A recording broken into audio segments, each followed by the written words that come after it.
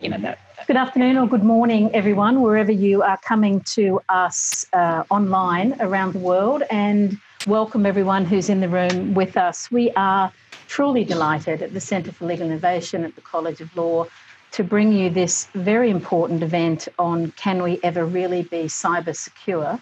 We won't ask for any response to that immediately, but we'll see how we'll go. We'll test it as we go through. Um, we are extremely fortunate to have, you know, really quite an amazing panel of specialists with us today. Uh, we're going to kick it off with a Q&A with them uh, and also invite your questions towards the end of the Q&A for folks here in the room, but also those of you online. You'll see that there's a Q&A button um, at the bottom of your screen, so please feel free to pose any questions that you have there. Um, and Christine, who is also with the Centre for Legal Innovation, um, will let me know what those are and make sure that we pose those to the panelists as well. Um, about an hour into this session, we're going to be flicking to Scott Jeffries um, from Continuum, who's going to do um, a live demo and discussion for us um, around all secret and scary stuff relating to the dark web and other various things that we often don't get to look at. Um, as I said to some of you before we came in, I don't know if Scott's going to put on a black hat for that or he's not. Um, but in any event, um, he's going to show us, in, in effect, the other side of things that we often don't see. Um, but in relation to the front of house things and how it impacts our businesses, let me introduce you um, to the panel. On my very far left is uh, Nicole Murdoch, who is a principal with Eaglegate Lawyers and also holds a number of other titles, including working at the Queensland Law Society, um, the Law Society uh, that is very uh, intricately known to us here because we're coming to you from Brisbane, Queensland, Australia. Um, and she works on the cybersecurity working group there. Um, welcome, Nicole. Next to Nicole is Leisa Flatley, who is an adjunct lecturer here at the College of Law, Queensland, um, who works with um, people who are going into practice and many others looking at areas around uh, risk management. So her input is going to be really fascinating as well. Um, next to Leisa, coming towards me, um, is David Williams, who is CEO of Fortitech. Uh, and David, I guess you get to see way too much of the stuff we're going to be talking about today. So looking for looking forward to hearing from you. Um, next to David is Kim Trajer, who is the Chief Operating Officer with McCullough Robertson Lawyers, and also a member of the Queensland Law Society Innovation Committee. And Kim's going to have a number of insights into dealing with uh, all of the things we're going to talk about today from a very practical level. So welcome, Kim. And last but certainly not least um, is Daniel Pearson, who's a specialist advisor in general insurance with Findex Insurance Brokers. And of course, a critical part of the discussions today is around this issue of insurance. You know, what do insurers want? Um, what do they don't want? What should you have done? And what do they provide? So, Daniel, um, your insight is going to be wonderful as well. Um, so, welcome to you all, and welcome again to the audience online and here in the room. I'm going to jump right in uh, and kick off our discussion today by asking some things that might seem to be um, a little bit kind of, you know, already understood. But I was wondering if we could, and, and I'm going to look at you, David, of course, to start now. Um, if you could define for us what is actually meant by cybersecurity. I, I suspect that we think we all have our own definitions, but what does it actually mean? Honestly, it's pretty simple. It is just business risk management, but specifically around your data assets. That's the information you collect on your clients, on your business processes, and those things that you store, both in paper and electronic form. And is it, it, it, it I mean, I think a lot of us also think of it as just being an IT issue. Is that is that fair, not fair? Well, there's really sort of three parts to this puzzle. You have the business owner who's accountable in the long run for anything that happens to that. They're the ones who will be, I guess, gone after by clients or government or whatever if anything goes wrong. You have IT who are generally there to make your business more efficient, use technology to give you competitive advantage. And then you have IS whose job it is to look at the risk management side of things and provide, I guess, a bit of an overview on how to manage those risks. And often that's at the detriment to some of the IT efficiency. And it's those three that form that that sort of group when it comes to looking after your cyber risks. So it sounds to me like it's pretty important that that multidisciplinary group is working pretty closely together. Indeed. Um, whether it's separate people or separate hats that are worn in the one firm, somebody needs to sort of step back and take a look at it from that perspective to make sure that they're covering it holistically. Yeah. And just building on that, if I may do a side question to you, Kim, mm. um, in your firm, do you find that that's how you kind of view cybersecurity? It is that kind of much broader remit beyond IT? Yeah, definitely. We have discussions at the executive level. Um, I think generally it's driven by um, by our IT director and, and then by me, sort of have a bit more of an understanding of the practicalities and the risks. Um, and then we take it to them and say, this is what could happen and uh, this is why it matters and why it's a business issue, um, not an IT issue. And um, yeah, having that conversation is a lot easier since we've had a data breach. So, mm. yeah. So, um, no one can see any of you when I pose this question to you now, but I'm posing it to you and for folks online to reflect about it as well. How many have actually experienced the cyber security issue, whether it be a breach or worse? Okay. But a, we've got a few people, for the benefit of the camera, that are willing to admit this, that that's happened. And, you know, how would you rate it on a scale of one to 10 in terms of um, now a priority issue for you, whether that's happened or not, one being the lowest, 10 being the highest? Anyone kind of around the one, two, three mark? No? Five, six, seven mark? Yeah. 10? Yeah, so a few at 10.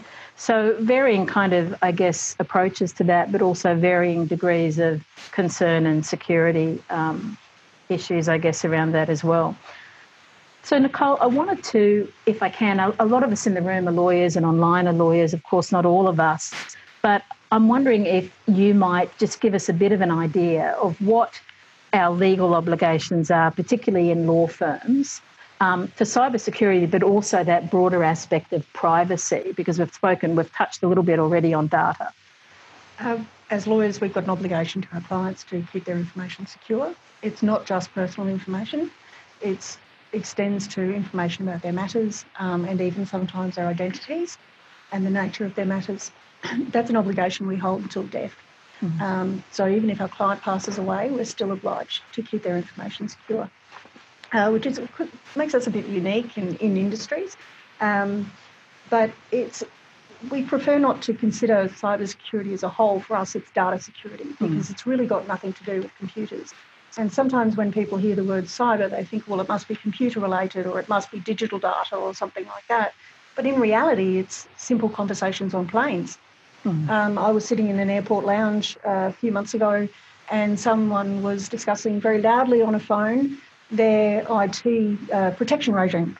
Mm. Um, four points. He got uh, got very close to getting it right, but uh, did you hold up a scorecard? I, I, whole, I, know his whole regime, and I know what he's not going to protect, mm. um, and that's about data security. The worst case I ever heard was um, two lawyers talking on a plane, and their client, who they'd never set eyes on, was sitting behind them. Yeah. And they were talking about their matter, or his matter, but they didn't identify him. But it was clear from him it must have been his matter because mm. of the mm. details. And they were talking about strategy. That's got nothing to do with cyber, and mm. yet the whole plane probably learnt about that matter. Mm.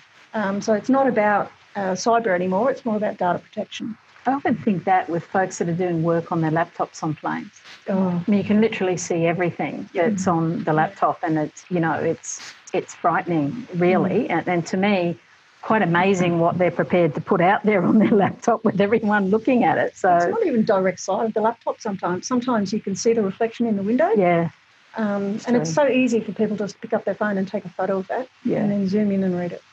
And just while we've got you on that, because, you know, I think sometimes the terms are used interchangeably, is there a difference between cybersecurity and data privacy? Or, as you say, are they kind of somewhat wrapped up together? At the end of the day, I think um, originally cybersecurity was computer related, but I think over time now comp- cybersecurity is a subset of data security. Mm. But people do use it interchangeably because they don't understand the nature of the terms they're using which is why, as an industry, we're trying to move towards a data security and information security mm. terminology rather than just cyber. Mm. And I think that also comes back to cyber insurance. Mm. Um, the troubles we have with clients understanding what cybersecurity is, because they think that anything related to the computer must fall under cybersecurity and it, oh, so, sorry, cyber insurance, and it mm. doesn't. Mm.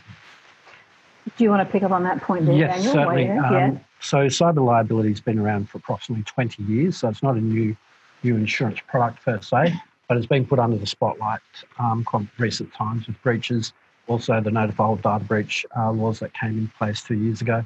So it, it is starting to gain some momentum with business owners and, and people themselves. So um, there are other data, uh, intellectual property infringements and insurance products that are, are, related to that as well. So the cyber uh, space where it is in the insurance market, products have been developed further and further um, to be able to protect businesses, uh, and I'll expand on that. Absolutely. If I may, I want to ask you a question, which is a question without notice. So feel free to, you know, um, tell me that. Yeah. Um, but are you finding in, in the insurance that you do in this area, are you finding or can you in any way ascertain?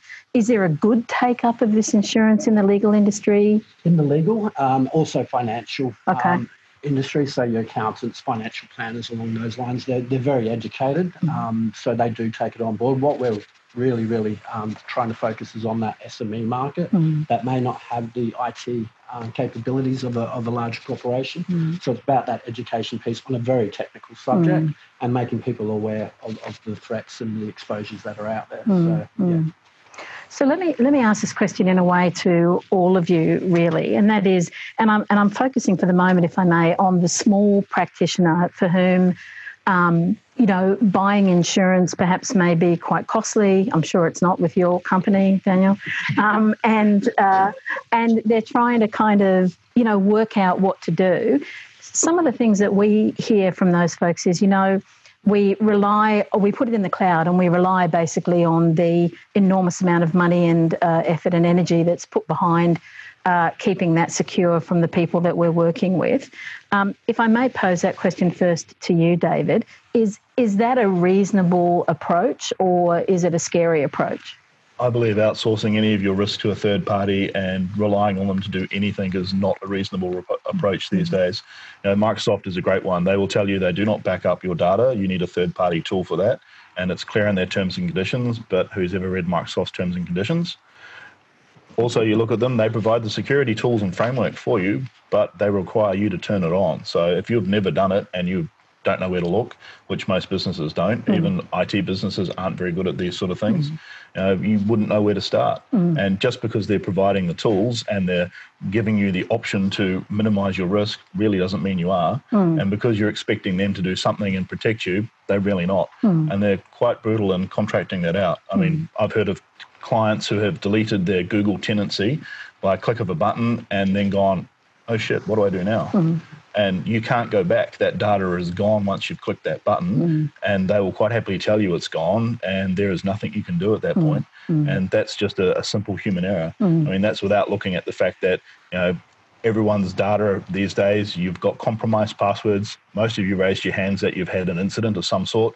I'd correct that and say all of you have lost a password somewhere, whether it be Facebook or whoever's lost it on your behalf for you. know, that's out in the wild. So now you've got the chance of being compromised. And what, I mean, any reasonable hacker is going to sit there and go through a list of the 1 billion that was out there, passwords and usernames, and go through those first to find out whether that's your one to get in.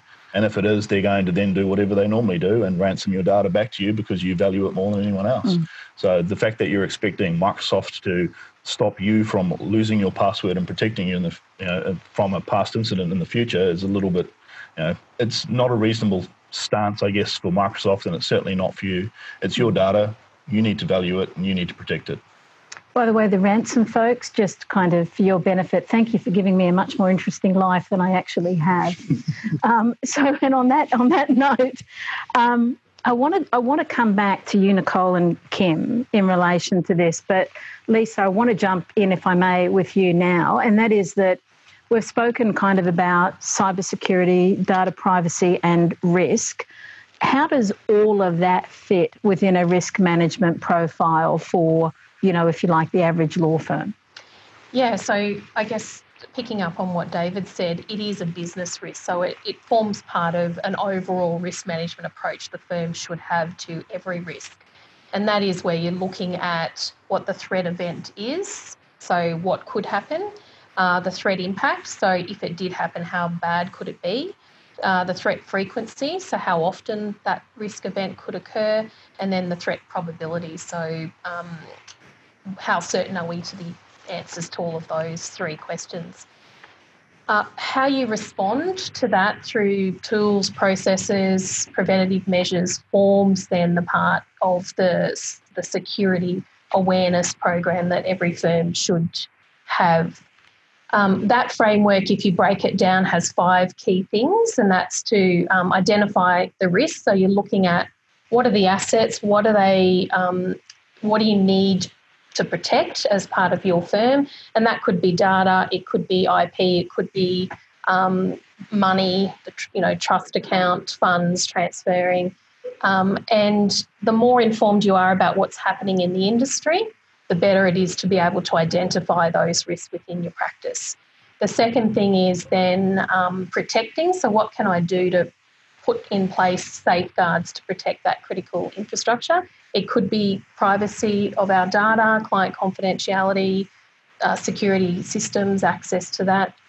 Um, the third thing is then detecting, so having something in place that's monitoring what's happening in this in your systems.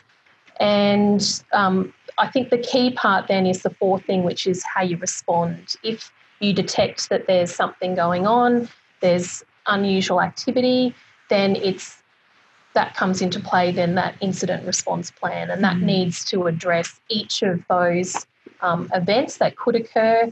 It needs to have a key list of who's responsible for doing what and when, and also an up to date contact list. Okay, the first thing we need to do is shut down the system and I would call, you know, the first person on the list. Yep. And then the final stage of any um, risk management framework is then recovery and restoration. Mm. So what do I need to do to, to get back mm. um, the systems and the data in place? And so part of that incident response plan is who do I need to notify? So as um, uh, Nicole mentioned it, there's obligations with our data privacy. So, who do I need to tell? Um, who do I need to um, alert that this has happened? How do we manage the communication? And then, what steps we need to put in place to, to bring that back to the status quo? And Nicole, to what extent is that, particularly the notification part, just picking up that last part, to what extent is that now mandated? Well, under the Privacy Act, we've got a so long as we're subject to the Privacy Act, uh, which it can be just by the types of data you hold. Uh, we've got the mandatory data breach notifications now. Uh, and that also extends in some circumstances just to loss of data. Mm. So if we lose our server, um, we probably need to do a notification. Mm. Um, not that it's been compromised, um, it depends on the circumstances. Um, and under contracts, it depends on whether we're contractually obligated to uh, notify them. Um, I've not had a data breach that I'm aware of. Um, so there are two types of people those who've had a breach and are yet to work it out. Um, I'm yet to work it out. Uh, so thankfully, but I, I, think I'd take the honest approach and just say, look, I'm, I'm, very sorry, but this is what's happened, this is what we're doing about it, um, and this is the data that was compromised. Um, because at the end of the day, I've got a relationship with my clients that I, I want to continue, and I would not like to be treated any differently. Kim, let me jump to you just on that whole issue around, um, you know, I guess it, it's two parts. One of it is the immediate business continuity aspect of it, mm-hmm. but the other one is that longer term damage control. And we've seen some scary examples of that for law firms, you know, as was mentioned earlier. Um, you know, for you, kind of looking at that in in your position, how do you how do you manage that? How do you manage it around those, particularly those two issues?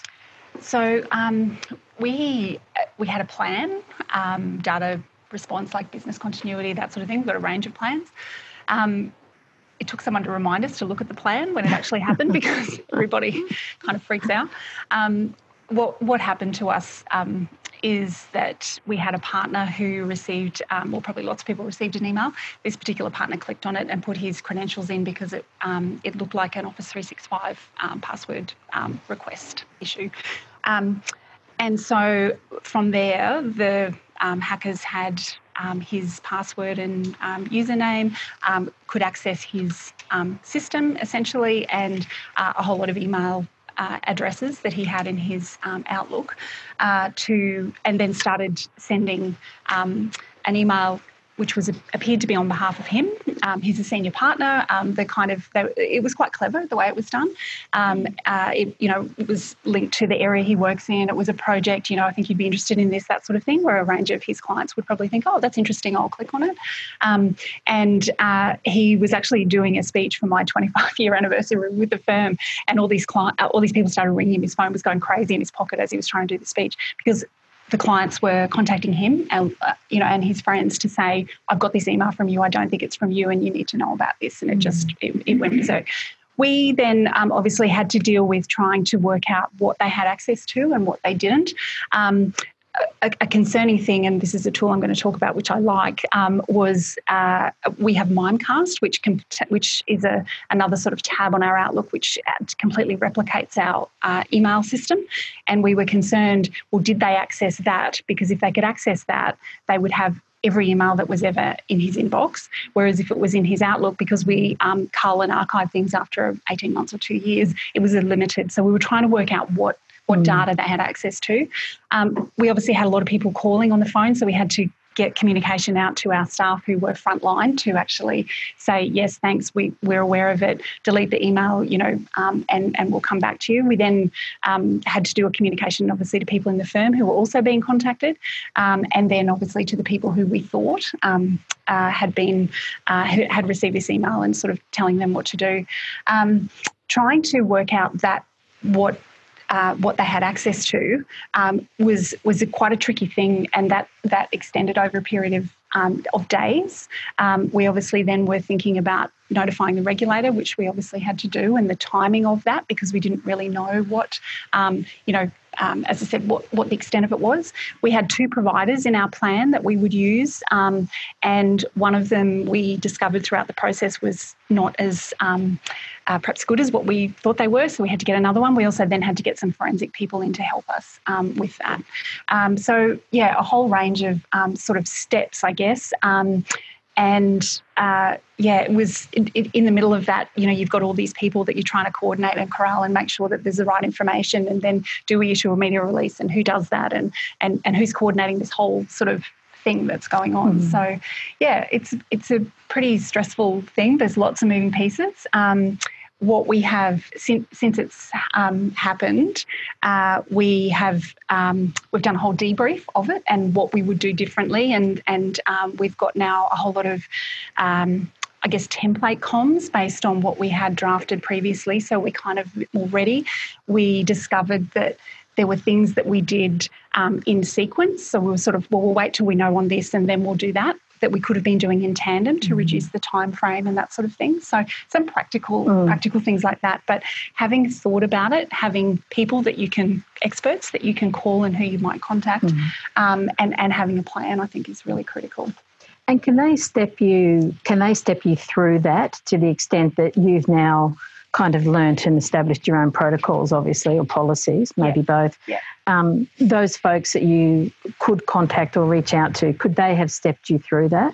I think there's different packages that those right. sorts of organisations um, provide, probably depending on on your business and what you're what mm. you're after. Mm. Um, and we also um, engaged with another organisation separate to the the technical side of it, I guess, which was around trying to manage and assess the risk and the um, and then help um, help the people affected. So the the partner obviously um, there was a range of um, personal things that were mm. you know Im- sort of impacting him throughout this time as well and and so um, trying to help them through that and then help the clients who ultimately I mean in the end we had I think it was about six people that we technically had to notify about under under mm. our um, and and send letters to. We'd obviously sent emails notifying the thousands of people in the um, who'd who'd been receiving the um, the dodgy email, um, but there was six people who would who would you know technically had the breach for. Mm. But then we went to the point of given the information they had, um, trying to help them restore the position. So one one was around a pass, uh, passport mm. issue. So we mm. were trying to, you know, and we offered this this mm. um, other support to them as well. Yeah. Because it's a it's a reputational issue and a Absolutely. business issue. So you want to do as much as you can to kind of help your client through it mm. because it's sort of our fault for mm. you know putting them in this position. Mm. So yeah, it's it's quite broad, I guess. Yeah, absolutely. Yeah. And David, is that where something like this would most typically start with someone clicking on an email? Yeah, um, the stats currently are 66 to 75, depending on who you look at. Um, breaches start from either a phishing attack or compromised credentials, so someone losing the username and password. Uh, as has been echoed by everyone around me, the biggest one is detection. Mm. Uh, if you don't know that you've lost your data, how do you respond? If you don't know what data you've lost, how do you respond? You know, as Kim said, the reputational risk is massive. If you've got a huge client book, do you go back to everyone? Do you post it on your website? Or do you have the tools in place to actually know what data was lost, who was affected, how they were affected, and go back to them individually to then notify them so that your actual reputational risk is minimized? And, you know, everyone said it, you know, you don't know what's happening until you actually have something happen. Mm. Uh, look at the Australian Parliamentary um, Office. They lost 4,000 usernames and passwords of parliamentarians and were notified when the Australian Signals Directorate told them they found it for sale on the dark web. Mm. I mean, mm. that's that's our own government who sat there and was saying, "We're you know here's guidelines on how to protect your data, but we're not going to bother following them quite yet." After that, they did change their tune a little bit, but uh, it goes back to the NIST framework and that middle term, detect. That's the biggest thing you can do. Put measures in place to actually know whether you've lost something, what you've lost, and how it's affected people. It doesn't even matter if you're not protecting, because you can sit there and pretend it's not going to happen, but you wouldn't even know unless you can detect it. Mm-hmm. That's what the stats show. 75% of data breaches are notified by third parties. Yeah. So again, it comes back to reputation. Where the client says to you, "Oh, well, do I have to notify?" and what if I just don't tell anyone? Well, you've got a 75% chance that someone else might notify you, and that's going to come down to reputation. People are going to look at should you have notified, even though you might not have needed to notify, mm-hmm. should you have notified mm-hmm. because it's your reputation that's at stake.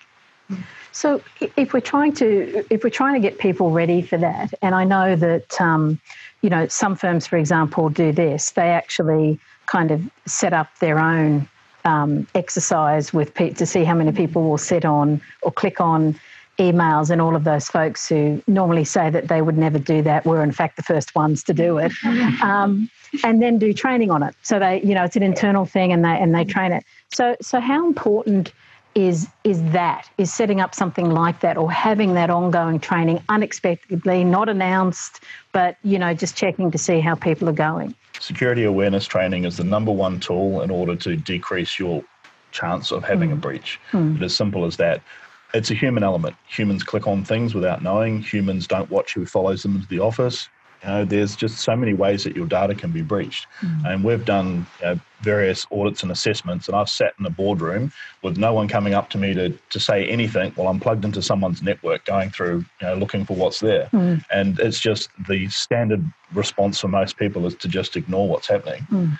But security awareness training is sitting there and going through, you know, sending out phishing emails to see who'll click on it, giving videos to say, you know, look for tailgating. That's when someone walks in behind you without swiping. Mm. Those things that most people sort of just don't think about in their day to day, but should be. You know, it's that cultural change to looking at you know, security is just a part and parcel of what you do. Mm. You know, it's it's just part of everything. We all have passwords these days. We all know how to put a password in. We all know that we shouldn't use the same password everywhere else, and we all probably do. Mm. But changing those, you know, changing how we do that, changing that culture, and having a look at it, valuing the information that we have on ourselves and on other people, and changing that security isn't something we look at after the fact, but something we look at throughout that entire process.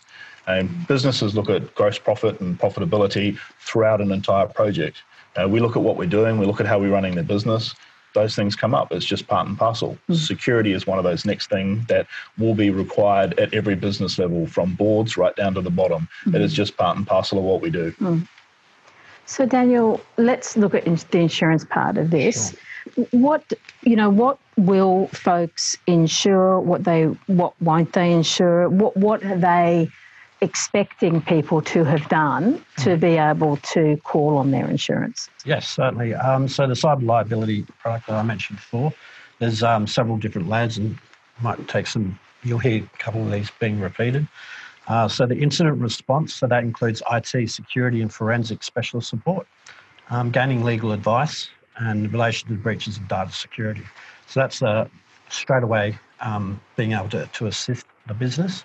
Um, there's also the business interruption element, so costs associated with that, um, rectification of data as well as a result of the cyber event. So that's um, like you said, the, the profit um, that can be affected on the business side of things, they can actually insure against that as well. Um, cybercrime, so your employees who often spend a lot of time in front of computers will incidentally click on links or mistakenly um, downloading malicious files. So successful attacks of this kind lead, lead to a range of issues and compromise of the cyber data. So that is actually covered under the policy as well. Um, and the big one is your privacy liabil- liability, which uh, Nicole alluded to before. So that cover um, covers third-party claims arising out of network breaches and notification of those particular costs to um, the end user or clients that have been compromised, and also any fines associated with that as well. Mm. And are you are you looking for people to have kind of the sort of templates that Kim was speaking to or doing the sort of training that David was speaking to? I mean, are they all important things from an insurer's point of view as well? Yes, totally. So, under the Insurance Contracts Act, um, you've got the disclosure. So, as long as that company has disclosed what uh, things they've got in place, um, the premiums will be rated accordingly.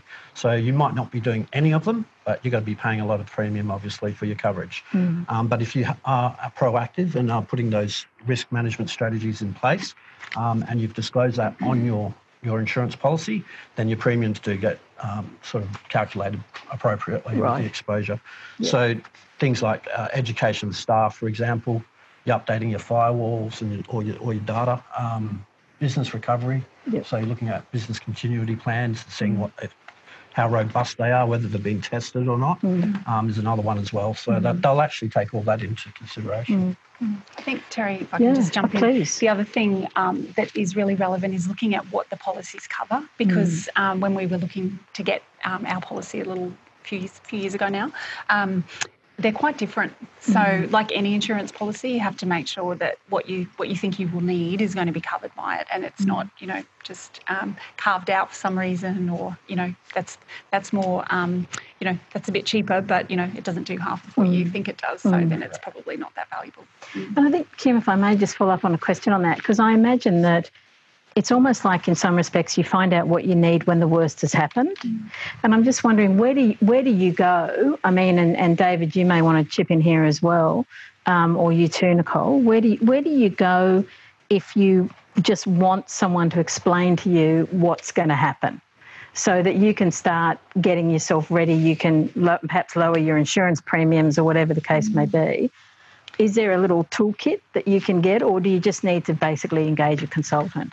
Um, I think there's quite a few toolkits around the place on on various um, uh, you know websites and those sorts of things. There's lot, there's lots of information about this. The other thing I think is really just making yourself um, aware of what these things are. And there's so there's a lot of media um, around. And you know, you start if, if you start looking at this, and I've got a I get a, a feed every day um, on um, with I think it's cyber or something like that in it. Um, and um, you know, th- there's lots of things going on. Mm. For, and if you think about those different organisations, you can get a lot of information like that. I mean, I think that you know, looking at the attack on Deloitte several years ago, mm. you know, I mean, th- those people were in the system for 18 months before they realised. Um, and they're, you know, they're an organisation that says we're, we're experts in this stuff and come and, you know, we'll help you. So um, th- that's a risk. We've got to, um, like like Nicole, people who mm. are, you know, in that space. So you've got to sort of be aware of that. But there's a lot, there's lots of information that law firms and other organisations are putting out mm-hmm. all the time. Um, if you if you want to do something before you get to the consultant, so mm. that it sort of reduces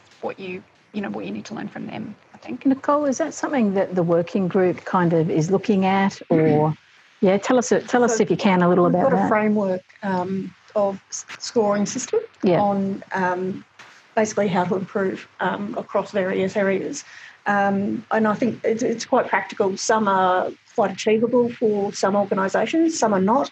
Some, such as the use of universal keys, the use of universal keys for two-factor authentication uh, won't necessarily work for every application you've got.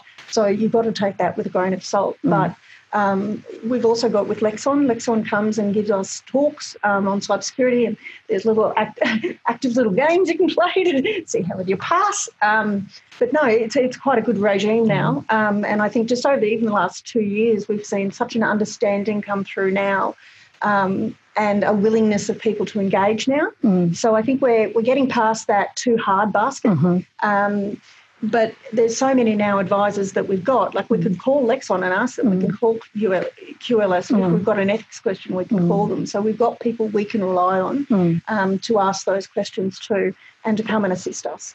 And do you think on that point where where uh, the industry is kind of getting beyond the awareness, because obviously that's always the first thing, but actually getting into okay, yes, we're doing some serious work on this now to protect ourselves. Are we are we still kind of awareness, or do you think we've moved into the next category? I'm not sure we're in the next category yet. Okay, Um, yeah. What I'd like to see is we've got uh, ethics of our, our CPD requirements. Um, we've got practice management points. Mhm. I'd love to see some cyber uh, practice management points. One of the things that the CPD points are meant to do are be refreshers. And that's all great if you learn it in the first place. Mm. But remember, a lot of us are older practitioners now. So some of us won't have had that cyber training in the Mm. first place. Mm. So I'd love to see some systems come in where they Mm. get some general understanding of even what an email compromise is. Yes. Um, because they, they don't have a concept of Mm. don't reuse passwords Mm. and things like that. Um, Mm. and I still get calls, not necessarily from lawyers, but I get calls from potential clients who want us to take action against the ISP because they got a virus. Mm. Um, and that's the level of understanding of some people. Mm. So we've got to remember that we've got a wide cross section of members, Mm-hmm. some with a lot more knowledge than others. Mm. So I think we've got to get some of the members up to speed, and then we can start doing routine hours per, per year to Mm. keep us up to date on what the new threats are Mm. and things like that. And we've got the Queensland Law Society symposium coming up, and we've got a cybersecurity event at that. Mm. And Leisa, I know that, that you do quite a lot of work with folks that are taking on ownership responsibilities of law firms through the legal practice management course, and your focus is on this and risk management. Are you are you seeing is there a high level of awareness application, or are you do you find that you're still kind of you know there with the basics, so to speak? Yeah, certainly. I think I agree with um, what Nicole said. We're we're still in that awareness phase that Mm. they're not, um, you know, they're starting out their own practices, so they're not um, part of that big uh, law firm where they've got IT people and risk management people to tell them what to do. So a lot of the questions we get are, where are the tools that we can just that new practice downloading? So we're trying to provide them with as much, um, not only information but practical tools. So Mm. um, incident response templates Mm. and you know examples of emails that we've seen in the threat you know environment in the in the law society Mm. which they publish quite a bit but um, and Lexon do having worked there do a lot in this space Mm. they've now got a cyber um, expert that can come in and do that disaster testing um, Almost a bit of an audit in a yeah, way. exactly look yeah. at your process. I'm sure you guys do that too. Yeah. so there are lots of free things that um, are happening, but I think it's just um, giving them examples. We can tell everyone what a phishing attack is or a ransomware attack is, but it's then. Um, I was speaking to a practitioner and she said, I got it. I then had to work out over the weekend when I couldn't access anyone at the Law Society or Lexon how to, you know, f- buy Bitcoin to pay the ransom so that I could contain. And I think what she did was panic, obviously, because she didn't have an incident response. She Mm. could have, Mm. you know, managed that quite differently. She is obviously well aware of that now. So it's um, being ready is the, the biggest thing and having Mm. those things in place to, okay, if it happens, this is the first thing I Mm. do.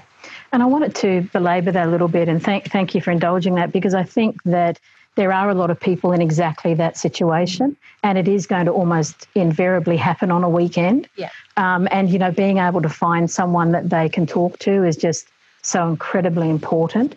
Um, And just sorry, just Sorry, on that please. too, we're, we're finding, and it, it's quite ironic, I think, is that there are a number of practitioners who are going into practice now on their own and are going completely back to paper based. Um, yes. What, what do we think about what do we think about So that? that's That's a that's a great point. Yeah. I started my own firm about 18 months ago, and I was using Windows uh, directories to keep up to date with everything, and it just got far too complicated. So I decided I needed to jump in and use a third party provider to do my client management as well as my document management. And one advice I always give to my clients is when you're going to engage with a third party, make them earn your trust. Don't just believe that they're going to look after your data. Do a privacy impact assessment on them, or at least ask the right questions. So I thought, um, bite the bullet, I've got to practice what I preach. Yeah. So I sent the emails off to them and said, well, I'm not going to engage with you until you start to tell me this kind of information. And they sent back a confidentiality agreement, which I duly signed and sent back, and then they sent back all the data. Mm. And I very properly broke the confidentiality agreement by sending it to my cybersecurity experts and said, What do you think? Um, Mm-hmm. and they all came back with, Yes, this is good.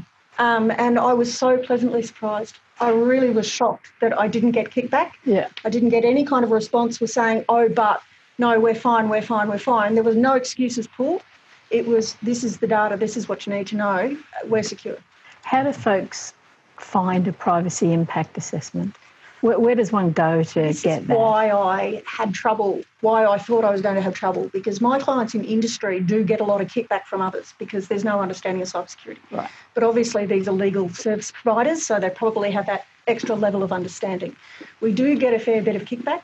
Um, and we get a lot of fear from clients not wanting to say write to Microsoft and say, well, what's your privacy? Give, give me a privacy impact assessment. Um, but for our advice, it's twofold. One, we have cybersecurity experts like David, Mhm. Uh, who go in and will physically ask the right questions and look at the data and look at the flows. Depends on how deep they want to go. There's different levels of ones you can do. Um, and then, depending on whether they need to be Privacy Act compliant, we'll do a legal assessment on them to work out if the data coming back from David actually does qualify under the Privacy Act, um, such as deletion of the data and notification if they've received the uh, private information without being requested and things like that.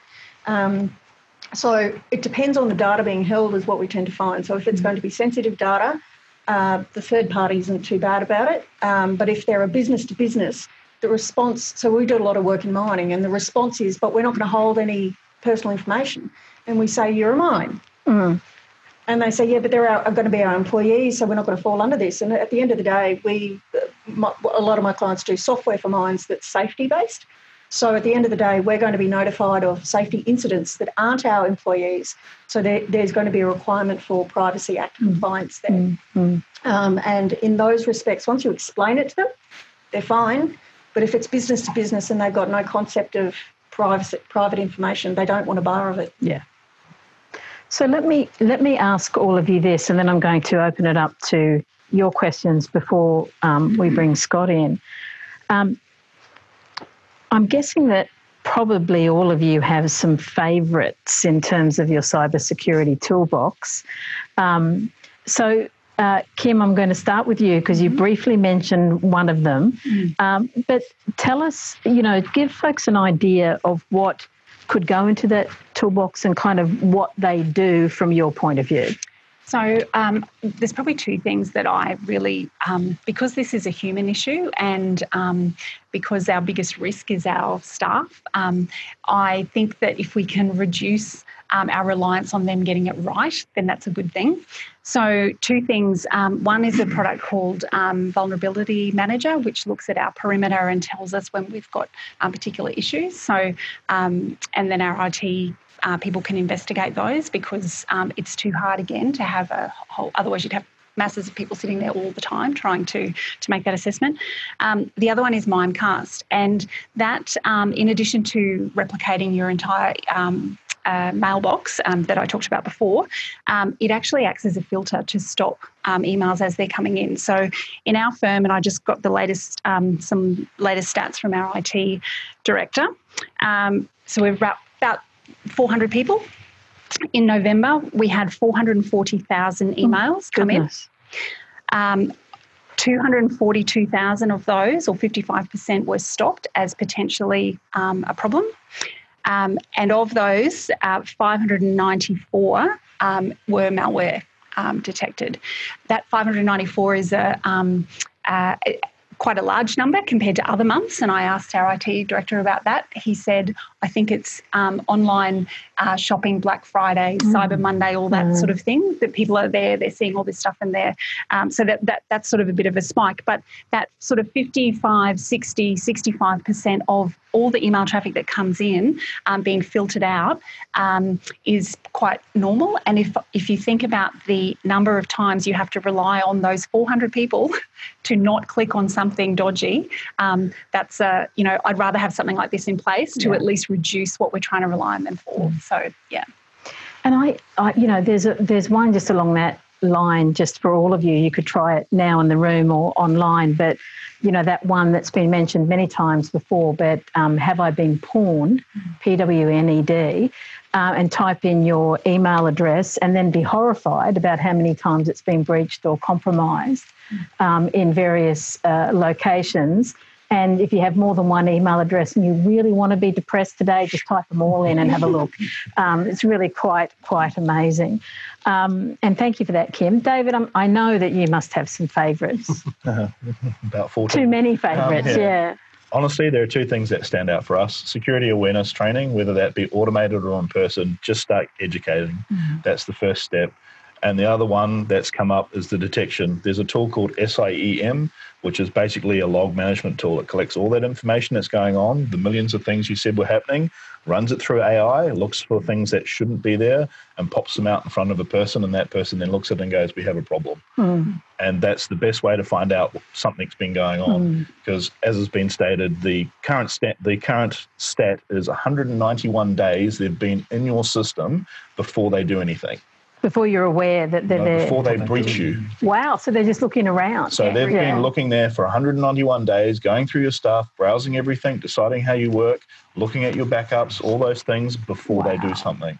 Wow. And and uh, you you were nodding your head there. So um, tell us more quite things to depress us, I'm on Daniel. the cold face at the other end of um, when it happens in clientele. So um, we see them, and I suppose my favourite response. We've got a, a there's a underwriter over in England. Um, they've got two, 365, 24/7 um, incident responses. Um, Leisa um, touched on it before, where it's you, you need some help there and then, um, and that's where this tool comes into help. You've got internal stakeholders, so it notifies everyone internally within the business, but also gets the claim and the, the response time um, ticking over straight away for you. So that that's probably one of my particular favourites um, coming from an insurance background. So and seeing these every day.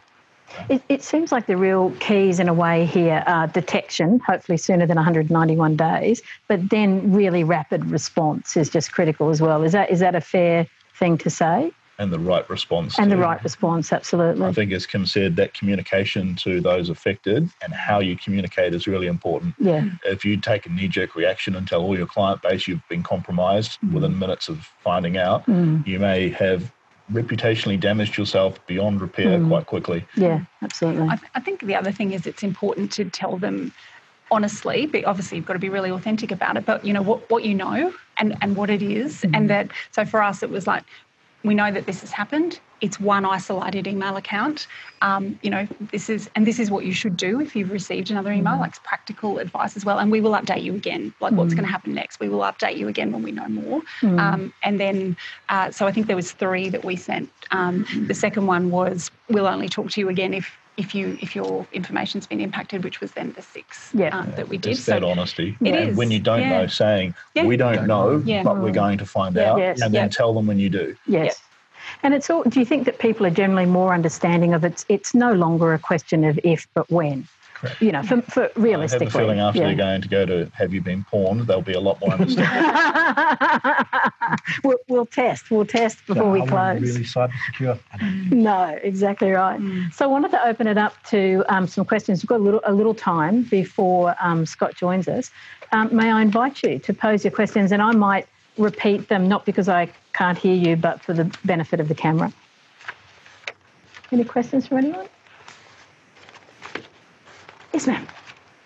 Uh, Nicole, you mentioned, um, so like, you know, paying and people like hearing. What about when you want to have like a special meeting at, at them? So what, say client wants to meet you from the casual. That's not a confidential conversation. Um, I think that's the definition of not confidential. Um, you've So not find a confidential if you're in a cafe? No. Yeah, okay. Um, you've got to be um, you, you've got to be in a, a closed environment where third parties can't hear you for it to be a confidential conversation. Um, clients will often say, "Oh, let's go to coffee and discuss this." Um, maybe they're they're consenting to that discussion, but you've still got to protect them from themselves sometimes. So it depends on what they want to discuss um, and what kind of information they want to uh, be released in that conversation. But you've got to understand that people will listen um, because, especially if they think they're hearing something they shouldn't be allowed to hear. So should you should you then pose that question? Are we in in the day and age where the next question you should ask in those circumstances is, you know, if there's anything um, that you feel is confidential that we're going to discuss, maybe we might be better off having it at your this conversation at your office or ours. Yeah, important to ask that second question. Okay. Other folks, questions? Christine, just checking that we haven't got any questions online while the folks are thinking about it. I'm sorry. Yeah. Are there any particular types of data that they're specifically focusing on? So the last time we had a breach, it was really chasing what I would call Microsoft applications, and it actually didn't touch our practice management system. so it was it was uh, general data we might have on precedents and, and other bits and pieces. We, is there a sort of an area that they're targeting specifically that then might help us focus our risk management or our, our tools and techniques? It's going to come down Hold on how one sec. easily I'm just, just going to repeat that just for the camera, just one sec. So it's basically, uh, is there any targeting on particular areas for breach activity? Do you like that? Okay, we'll go with that. Sorry, go ahead. it's going to come down to how easy they can get that data. If everyone's using Office 365, it's a giant honeypot, which is means it's something that they can attack, and they will. Um, if you're using Leap as an example, it's a tool that's getting more and more popular, or Actionstep. So there are things that now you move off-prem, which is or on-prem, where you have it in your own server, which is a little bit harder to attack. You are now generally reasonably well looked after. You might have a firewall you're one of many, but now you're moving into, say, Leap or Actionstep, where you're many in one. And because of that, the targeting will come quite high. It's a bit like the Mac argument. I used to have a Mac because I never got viruses. Well, unfortunately, these days you're getting more of them than you are Windows because they know that you're a soft target and hmm. they figure it out pretty quickly. These guys aren't stupid. They have access to AI. They are running it like a business. They are well funded. They turn over more money than any other organized crime all put together. So they've got the money to spend on doing it right and targeting you. And they'll figure out how they can make money out of that. Microsoft's an easy one, so they'll go after that. But who knows? I think Leap and Actionstep will be bits of software they go after next because the value of that data is high. And more and more people going to these cloud based services means it's going to be more and more of a target. So let me, if, if I may, sorry, Kim, did you want to do a I follow up on that? gonna say, I, I think it depends a little bit on what they're after. Um, so that um, you know, there, there's. Uh, we are known apparently for the amazing technology that is produced in Australia to do with um, mining, um, innovation, ag tech, that sort of stuff. So, I, potentially, if you are a firm that um, acts for clients in that space, then you know that um, equally um, we've had quite a lot of the um, the you know spear phishing where you've got someone. So I, I send lots of emails telling people, telling our CFO that this needs to be paid immediately, and um, you know, well, this person's changed their their bank account and those sorts of financial transactions. So you can see those two things are really quite different. Um, again, on the the one that happened to us, I think it was the um, the clicked on email that um, they were then relying on by sending out another thing that said click on this, which was a project apparently from this partner, um, they were wanting other people to click on that and then um, you know get their credentials. So what that was, what they're after in those three scenarios is probably quite different. Yeah, so it makes it yeah, it's a bit hard. So, a couple of questions from online, and um, Daniel, I'm going to pose this one to you, if I may. The question is that um, as the uh, threat landscape kind of expands, then some insurance companies have sought to create um, more exceptions or restricted payouts, and obviously it's a dynamic landscape. So, how does one mitigate that beyond the obvious one that they you know should stay in touch with their insurer and have lots of conversations but how, how does one kind of manage that scenario from Yes, outside? Uh, well, once again, it comes down to that risk mitigation, um, risk management. So being able to protect yourself hardware wise, software wise. There's different industries that we insurers just won't touch. Mm. So that's things like Bitcoin, um, financial institution, large institution banks. Um, online gambling is another one. Airports, um, they just stay clear of that. Mm. Um, but for example, one of our underwriters writes up to 75 million um, for the, the limits. Mm. So they're quite expansive limits. And, and as Kim uh, highlighted before, there are sub limits within each particular policy. So it's always ideal to have your insurance broker informed. Mhm. Um, if you go into a new occupation or a different industry, for example, um, you may be susceptible to, Mhm. to a higher attack rate. Mhm. Or if you have more business, uh, more turnover, then more activity. That's another indicator where they'll have a look at your premiums and, and adjust Mhm. accordingly. But you can Yeah. write back and, and get excess layers on top of that. Um, you can have a look at indemnity periods and also uh, deductibles mm. to reduce the premium as well. But It seems to me part of what you're saying there as well is that it's almost like considering your insurer to be more of a partner in your business and and being having that door open for those communications yeah. all the time. Is that is that a fair comment? That would be ideal yeah. well for any type of insurance, um, yeah. but particularly this one where it's more complex and technical. Yes. Um, it's always dynamic and it will always be changing uh, environmental landscape. Mm. Uh, hence why I do like having that uh, niche in, in this particular type of field. Um, it's not going to die, uh, and like we said in the question, you know, uh, are we ever cyber secure? I don't think so. It's just going to be one thing after another and mm. advancements in technology. So. Yes.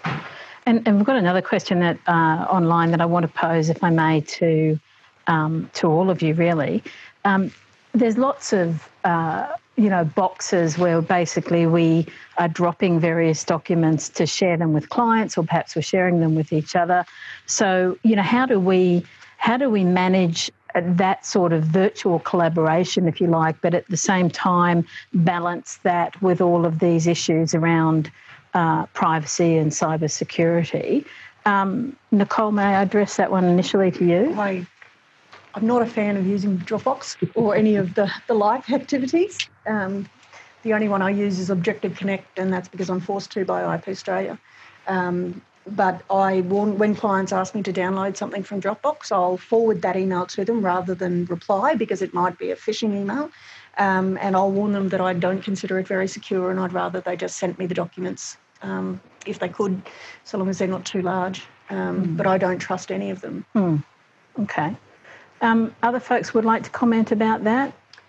Just something that we're noticing with the practice management course is unique client identifiers. So having some kind of um, unique yeah, key that they've got that they can access. So it's either a client portal or something where it's just you and the, the client that has the number. Mm-hmm. Um, that's something that we're hearing is mm. quite prevalent. David, Kim, any thoughts? Mine's going to be a slightly differing opinion. There's actually some really good points with using these services because you can send a link to someone, and inevitably, if you screw it up and send it to the wrong person, you can actually get rid of that link pretty quickly, which would be a little hard to do if you'd sent them an email and you have to recall it. They've already opened the previous one. Or even if the document changes and what you had in there wasn't correct and you've updated it, at least the version they're getting is the version you want them to see all the time. Mm. So there are some benefits even with Office 365, it tracks access, so you know whether they've accessed it or not. You can rescind that access very quickly and easily. And at the other point, you know it's them because through Federation, their Office 365 knows who they are, mm-hmm. and you'll send it to them. So Office 365 ties them. So unless they're mm-hmm. already compromised, which isn't exactly your problem, you're at least sharing the data to them in a secure way that you control because there is this convenience, um, you know, kind of trade off all the time, isn't there? Even with emails for that matter and accessing those. Kim, any thoughts from you in terms of you know, managing this kind of virtual collaboration between clients or colleagues? Yeah, our um, our IT director tells me that Dropbox, the version of Dropbox that's currently around, it has um, is better than it used to be, and that there's ways to put security protocols mm around it. We do have the client portals as well for particular things. Um, obviously, use email a lot. Uh, depends too, I think, on your collaboration tools with um, within the document management system and those sorts of things. So I think it's like a lot of things, it's evolving and the security element is um, evolving with it. Mm. Um, so probably caution, but yeah, mm. there's, you know, you've got to do business, don't you? Whether yeah. you got a floor to hold and it comes down to whether you locked it or put your seatbelt mm. on. So if you've got a tool, use the tool appropriately and secure it, and it's probably better than nothing at all. Yeah. There we go. We should be good now, Scott. Just if you would just mind just chatting and we'll check that out. Yes, perfect. Hello, everybody. Brilliant. So I work with um, David Williams, who's in the room today. He's one of my clients. Um, he engages with me for a number of tools that my company provides to him. And I have a general knowledge around the security problems that a lot of small businesses in Australia and the world face today. So I'm going to take you through a few things today on email compromise, the dark web, and phishing. And I will show you a real life example of how this can go terribly wrong if you don't be mindful about your online security. So, the world as we know it today is very insecure, and people are not very aware of their ability to be compromised through what they know as behavioral mitigation. So people aren't actually aware that they're being farmed for knowledge through social media platforms, LinkedIn, Facebook, and many other sources of intel. Often, a threat actor is going to watch you and follow you for months before they launch a campaign against a business, especially if it's a sizable organization. If you're an organization that has millions of dollars, they will spend more time getting to know you intimately in order to fool you into making them money off your bank account, typically through things like CEO fraud, CFO fraud. So, this is me. I work for a company called Continuum, which is also a part of a ConnectWise group. Uh, we're based out of Tampa in Florida, and I work out of Sydney in Australia. Cybersecurity is not a new problem, but it is getting worse. Every year, you'll see an increase in the amount of attacks. The marketplace for cyber criminals is now valued more than any other illicit marketplace in the world combined. That does not matter if you're talking about drugs, weapons, prostitution, or anything else combined. The grand total of all of these things together is still now less than the amount of money cyber threat actors make every year. Some of these organizations are worth billions of dollars. They have 200 to 300 staff inside of a cyber hacking company. They have a board of directors. They have a HR team. They even have a help desk that'll assist you in paying them money. This is the reality. Here are statistics showing you the number of complaints by the IC3. This is United States government, and what the IC3 does is purely collect intel about cybercrime that occurs that is reported to the FBI in the United States. Why this is interesting is the amount of complaints versus the amount of revenue and financial loss do not correlate. This means that more businesses are getting attacked but are not willing to talk about this attack with other people. They do not report this to any government body. In Australia, we have a notifiable data breach scheme. You would think that that would mean that businesses are going to notify of a data breach. However, there's actually more than likely the chance that most businesses will not actually report that breach, whether it's due to the loss of their reputation, financial, or compliance reasons. Probably around 90% of breaches that occur in Australia currently do not go reported. That means that you're actually going to find you wouldn't even be aware that some of your data might have been compromised through breaches of your business partners, maybe your direct accounting, law, or other services firms that you engage with, and many other things. This is a list of cybercrime and the types of crime. So you will see here that the leading cause of loss is actually known as BEC. BEC is a business email compromise. So, a business email compromise is caused by someone having had access to an account, a genuine account, not a phishing, but a real employee's email address. They are then able to use that to manipulate another person in the business to do what they want. They have probably been following you online for months.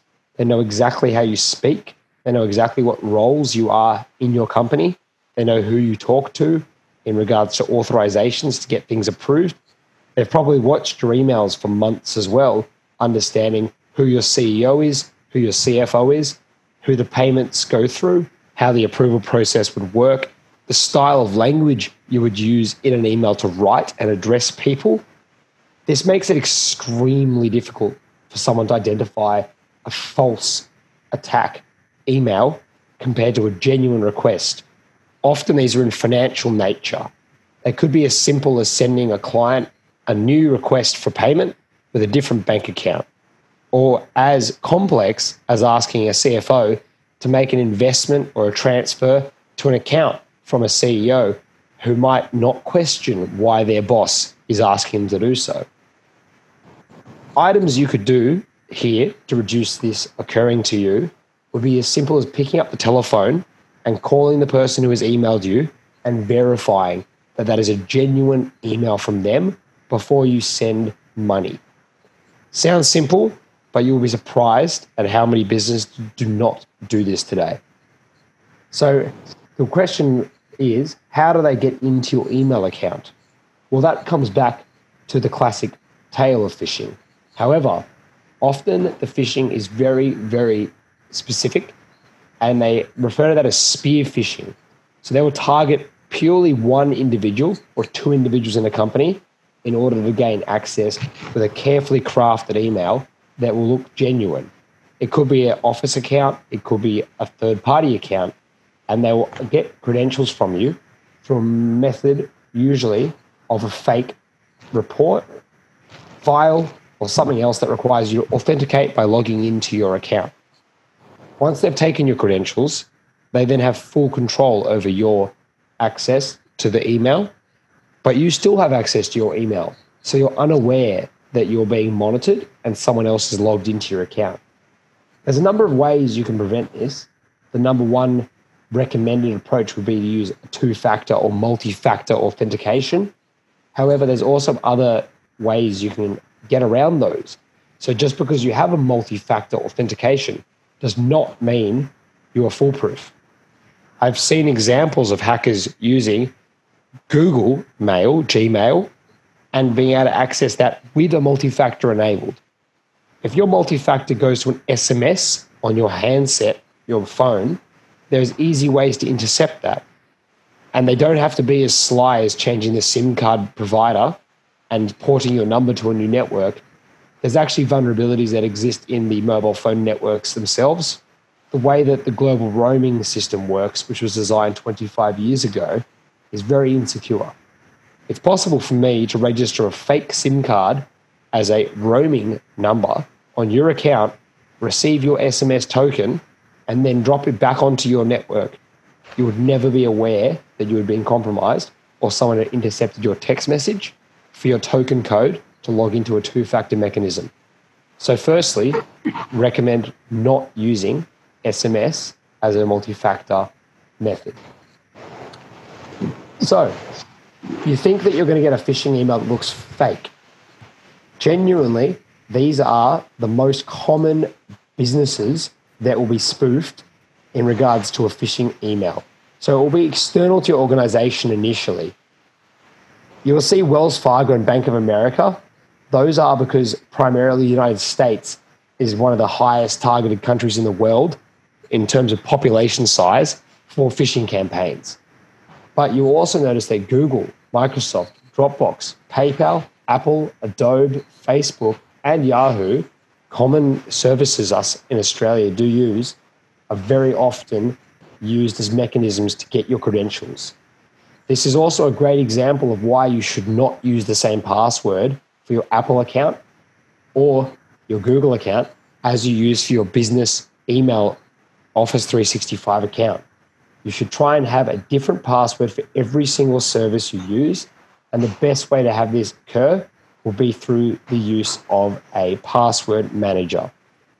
There is many different options out there in the marketplace, and I'm not going to recommend any option to you.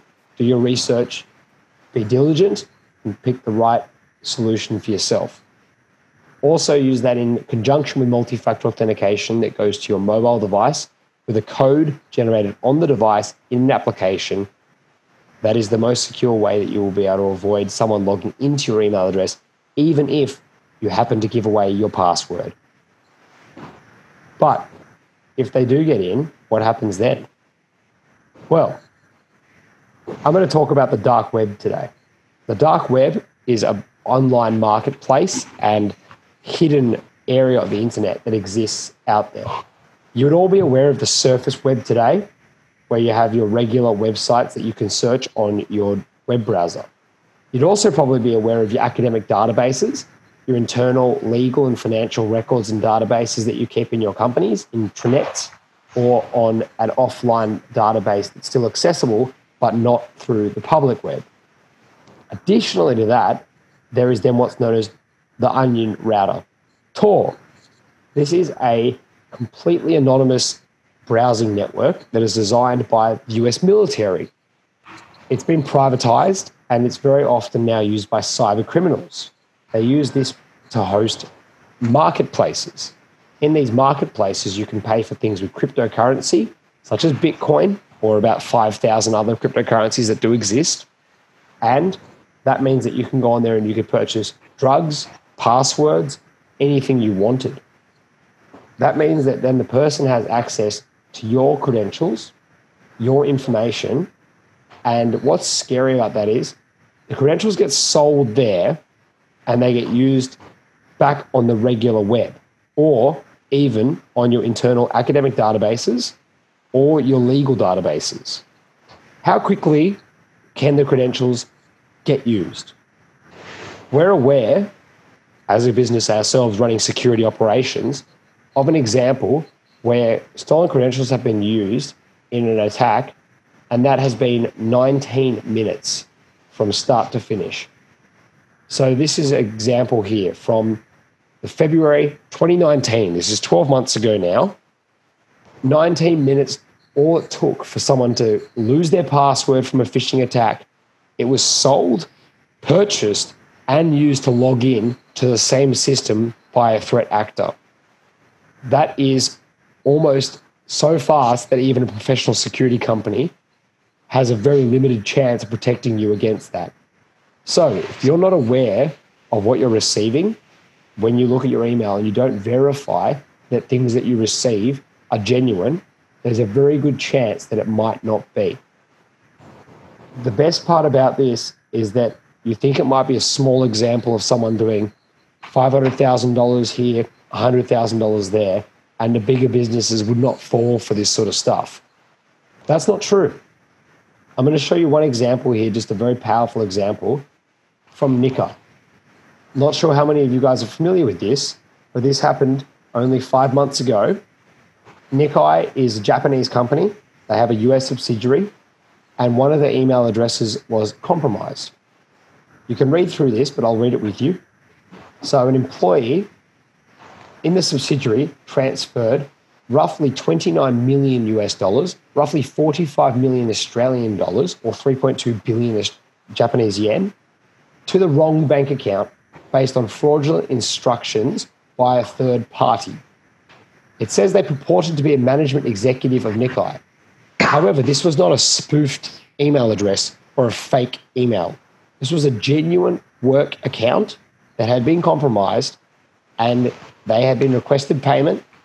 The individual did not go to check with any other method, whether it be Microsoft Teams, whether it be Facebook Messenger, WhatsApp, a telephone call, or any sort of other mechanism to go and verify. Maybe they should walk down the hallway and speak to the person themselves in person if they're physically there.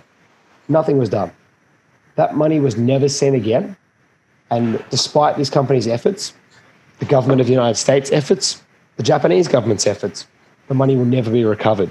This business has lost $45 million in one transaction, and that is not the biggest example I could find out there, just one that's quite recent. The largest one that you'll probably find out there was actually Toyota. Toyota paid more than $50 million US to the wrong parts supplier for car parts based off exactly the same thing. An email compromise where a parts supplier had changed their payment details purportedly. Toyota paid them for their lump sum payment and it actually went to the wrong place. That's what I wanted to share with you guys today. Just a brief message around email compromises, around the factor that you need to double check everything you do, not just in terms of your password security, not just in terms of your multi factor authentication technology, but also in terms of you being vigilant that the emails you receive internally from your own bosses might actually not be real and that this is the leading cause of loss online. You're not going to have a phishing attack that is going to lead to a ransomware attack that is going to cost you more than an email compromise. Because if you were to pay someone for you getting your data back, that is still going to be normally a lot cheaper than it would be if you sent your normal transactions for the whole year to the wrong account. Thank you. Thank you, Scott, very much. Now we're all too scared probably to ask you any questions, but I will check and make sure um, that there are or aren't any in the room. And Christine I'll have a quick check um, online as well. Um, any questions for Scott in relation to any of the things that he has mentioned or discussed? So, Scott, the, the question was if you do, in fact, find that your email has been compromised, and I'm guessing like a personal email that you're focusing on more here, whatever, yeah, um, what are the steps that you take to, um, I guess, really try to bring back some form of security, right? Um, apart from changing the password. The only thing you can do is to change your password. Once your password is lost, you're very vulnerable. The other thing you should also take into consideration is where else have you used this password? I know everyone's going to say that they don't use the same password anywhere else, but that's not true. Everyone probably at some stage in their life has used their password somewhere else. What you should do in that case is probably go and actually enable multi-factor authentication as well as changing your password on not just your email service, but also on other services as well. Maybe your social media account would be a good place to start and potentially also your bank account would be a great place to also check that setting. There's many ways that you can use token authentication from Google, Okta, Microsoft, and many other providers out there that do not require an SMS token. And if you reset your passwords, make sure you use very thorough, strong passwords. Don't just go and change your password from Daisy 1 to Daisy 2 to Daisy 3, because it's very easy for me to guess the next number in the sequence of passwords that I've stolen from you is going to be number four. well, and I guess the thing is too, Scott, that we should just get into the habit of changing them regularly, regardless, right? Both personal and obviously our uh, organisational or corporate ones, whether or not we've been breached, right? Just keep changing them. Current thinking in that landscape's actually shifted a little bit. So mm-hmm. around probably around two years ago, the thought process was around a 30 day to 90 day password reset policy in most organizations. Now the thinking has actually shifted to having extremely complex passwords that you don't change very frequently. So mm. maybe you change them once a year, but you use pass phrases. So you might say dog, kettle, coffee, robot. Really long, really complicated. No one's ever going to guess it. It's quite easy to remember in addition with that multi-factor authentication. The password strength is only important so that someone cannot do what's called a brute force attack. However, if the password is compromised and you do have a multi-factor mechanism in place, you're very unlikely to be compromised. You're also very likely to be aware if your mobile phone asks you, is this you logging in with a token request? And then you know that it's time to change that password. It's actually quite annoying because what happens is when you make someone change their password every 30 days or 90 days in a business, they go back to using Daisy 1, Daisy 2, Daisy 3 because it's very hard for them to change to a very complex password every three months and remember it. So they get lazy and sloppy. So you're actually much better off reducing the frequency of password changes and strengthening the length of the password. Um, for everyone else's um, knowledge, a brute force attack is when a computer system would just guess the password based off a number of known passwords and possible combinations of passwords. So, the best advice there actually is to use longer and stronger passwords in conjunction with multi factor authentication rather than frequency of changing the passwords. Because what that does is it forces onto less technical users a more high likelihood of them using poor password hygiene. And on that um, note, Scott, the ones for those of us with an iPhone, um, you know, we it suggests, I guess, strong passwords that you can use that you can choose. Um, how good are they? Is is it a good thing to be choosing those, or not a good thing to be choosing those when suggested? Well, if you're talking about mobile devices specifically, it's actually recommended to use passwords over using your fingerprint. Mm-hmm. The reason for that is actually more in regards to law enforcement.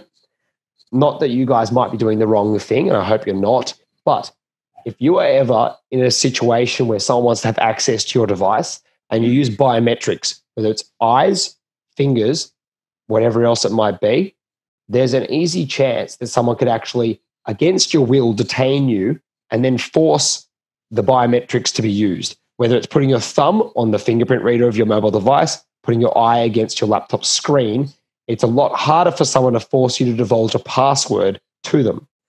Hmm. Additionally to that, you can actually set your mobile device up to reset itself if the password is entered incorrectly a number of times.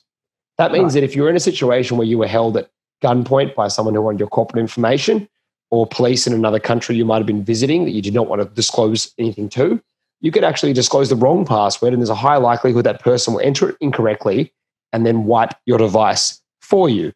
That's a much better outcome than then just putting your finger on the phone and finding out that you've been helping someone in that country with a legal matter, which might then end up putting you in jail because that person might be in a country which has a government that's less inclined to want you to come and help that person.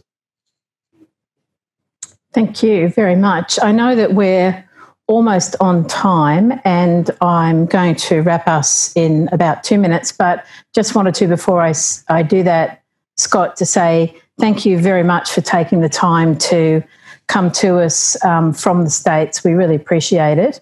And um, I'm sure there's going to be lots of people who want to chat with you later. So thank you very much indeed. Thank you. No worries. Feel free to connect to me on LinkedIn. More than welcome to. And I'm going to go and watch a rocket launch now from the Kennedy Space Center. So I hope everyone has a great night. Excellent. Congrats.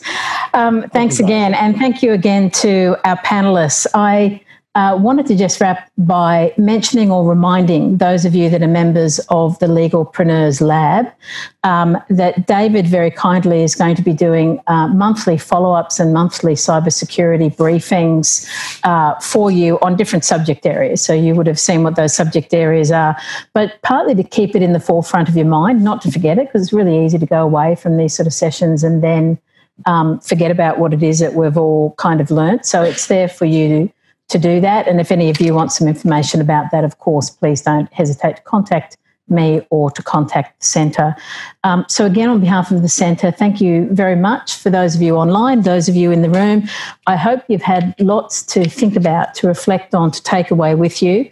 Um, I know I can say on behalf of all of the panelists, because they are generous and wonderful people, that should you reach out to them, that I'm sure they will be very willing to uh, chat with you. Clearly, for those of you in Queensland, we've heard that there's some great resources available for you um, through the Queensland Law Society. So don't forget uh, to tap into those as well.